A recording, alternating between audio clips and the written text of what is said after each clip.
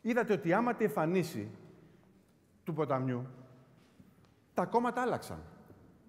Και αυτό ίσως είναι κάτι που πρέπει να πιστωθεί ιστορικά στο ποτάμι, ανεξάρτητα αν πάμε καλά σε ευρωεκλογές ή όχι. Είδατε δηλαδή ότι οι πολιτικοί αρχηγοί άρχισαν να μιλάνε για ανοιχτά ψηφοδέλτια, για τους νέους που πρέπει να συμμετέχουν, ότι δεν θα βάζουμε ανθρώπους από το κομματικό σύστημα τα ψηφοδέλτια μας. Το είδατε αυτό, δεν θέλω να πω ονόματα, το έχετε δει. Όλοι έχουν συμφωνήσει ότι πρέπει να υπάρξει μια ανανέωση του πολιτικού συστήματος.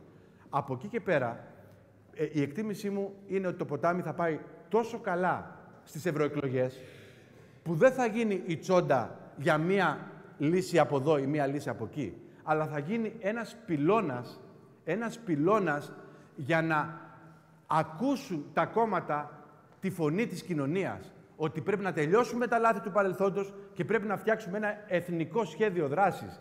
Να φτιάξουμε, να χαράξουμε μια καινούργια στρατηγική για τη χώρα.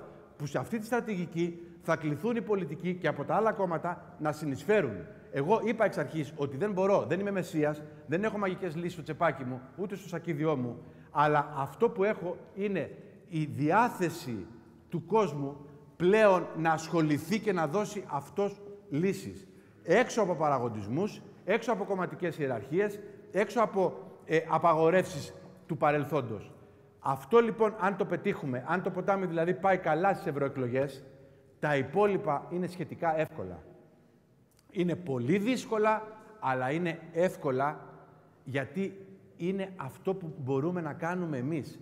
Η υποχρέωσή μας απέναντι στα παιδιά μας, στις φίλες μας, στον κόσμο, είναι να κάνουμε τη δική μας προσπάθεια. Εγώ αυτό μπορώ να κάνω. Θα κάνω αυτή τη δική μου προσπάθεια. Με αρχές συγκεκριμένες, με μια πολιτική που σας την έχω περιγράψει περίπου και που θα ενδυναμώσει αυτή η πολιτική και από τη δική σας συμμετοχή. Νομίζω ότι μετά τις ευρωεκλογές το δίλημα δεν θα το έχουμε εμείς. Μετά τις ευρωεκλογές το δίλημα θα το έχουν οι άλλοι. Να το θυμάσαι, φίλε μου, αυτό.